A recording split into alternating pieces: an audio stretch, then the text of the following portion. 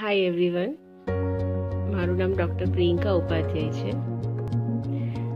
આજે મારે વાત કરવી છે એક એવા અનુભવની જે દરેક આપણે ક્યારેક ને ક્યારેક જીવનમાં કર્યો હોય છે.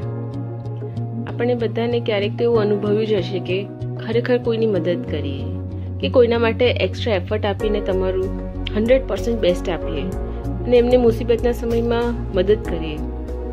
પણ પછી છે ને જ્યારે સારો સમય આવતો હોય કે પછી એમની મુસીબત જ્યારે ટળી જાય, પછી તમને એને વેલ્યુ ના થાય, કે તમને એપ્રિસિએશન ના મળે, કે કોઈ તમારા માટે એ ક્રેડિટ નહીં આપે, તમને કોઈ એ સારા શબ્દો પણ બે સાંભળવા ના મળે તમને, તમારા સારા કર્મના.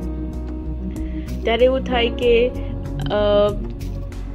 રેકોગ્નિશન નથી મળી રહ્યું એપ્રિસિએશન નથી મળ્યું, મન ભાંગી જાય અને દુઃખી પણ બહુ થવાય. પછી એમાં શાંતિથી જો આપણે વિચારીએ ને, એમાં પણ આપણું કંઈક સારું જ લખાયેલું છે. કદાચ ભગવાન છે ને, આપણને નિષ્કામ કર્મ શીખવાડી રહ્યા છે. એ આપણને ફક્ત નિમિત્ત કરી રહ્યા છે કે જે તમારી આસપાસના, તમારા ફ્રેન્ડ્સ ફેમિલીના તમારા બીજા જે પણ લોકો સંકળાયેલા છે ને, તમે મદદ કરી શકો.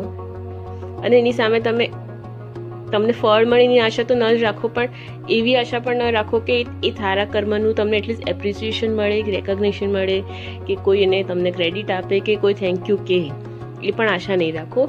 એ કદાચ સાચા અર્થમાં નિષ્કામ કર્મ થયું. એટલે જ્યારે મન ભાંગી જાય, દુઃખી થવાય, તો હંમેશા યાદ રાખજો કે ઉપરવાળો તો જોઈ રહ્યો છે. અને એને બધું જ ખબર છે. તો તમારા સારા કર્મ બંધ નહીં કરતા. ચાલુ જ રાખજો. તમને બહુ સરસ લાગશે જ્યારે આ વિચારથી તમે કરશો ને કર્મ ત્યારે.